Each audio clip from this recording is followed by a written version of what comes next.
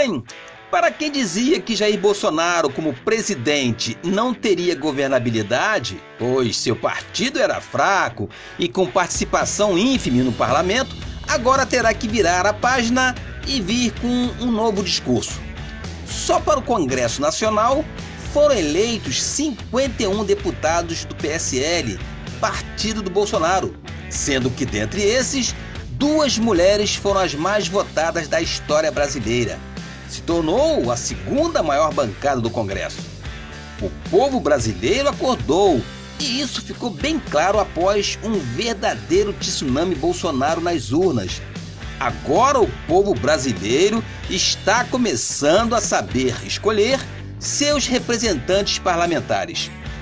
Todos os órgãos da imprensa brasileira ainda estão degustando aquilo que eles já sabiam, mas escondiam do povo.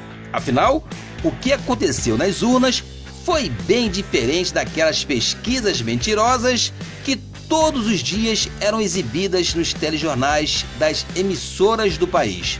Ratazanas do PT, MDB, que sempre dominaram as urnas, tiveram que amargar a rejeição popular e engolir o gosto amargo da derrota. São eles: Dilma Rousseff, Lindbergh Farias, Eduardo Suplicy, Fernando Pimentel, Eunício de Oliveira, Romero Jucá, Beto Richa,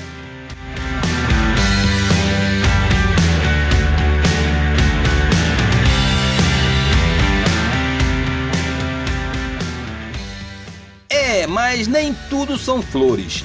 Lembra que no início eu dizia que o povo brasileiro estava começando a saber escolher seus representantes? É porque, infelizmente, ainda teremos que presenciar outras ratazanas transitando no Congresso Nacional. Verdadeiros inimigos do povo brasileiro que, por descuido, foram eleitos e reeleitos. São eles: Jean Willis, Freixo, Benedita, Gleice Hoffman.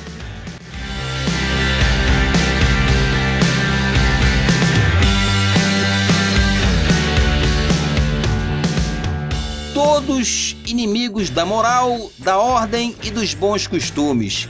São libertinos, odeiam os cristãos e as famílias tradicionais. Bom, mesmo assim, para o começo de uma nova cultura política, o saldo foi positivo e sob o comando de Jair Bolsonaro na presidência da República, com certeza estaremos bem mais preparados para o voto certo nas futuras eleições. Fique com Deus, Deus te abençoe, Deus abençoe seus sonhos, seus projetos, Deus lhe dê saúde, Deus abençoe nosso Brasil. Nos veremos no próximo vídeo, se assim Deus permitir. Até lá!